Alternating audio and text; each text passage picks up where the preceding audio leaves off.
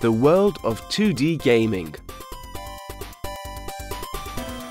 You may think that games with 2D computer graphics are a thing of the past, but these cartoon-like games are making a surprise comeback. In the 1970s and 1980s, there were no consoles to play your favorite 2D games on in the comfort of your own home.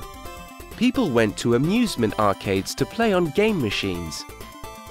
There, they defended the Earth from alien spaceships or bounced around in platform games. In these games, the characters run left or right across the screen, leaping from one platform to the next. The arcade video games may seem simplistic compared to today's complex open-world adventures, but these games captured the imagination of a whole generation of gamers.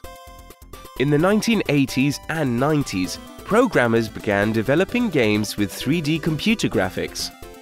These were more realistic and allowed the players more freedom to explore the virtual world.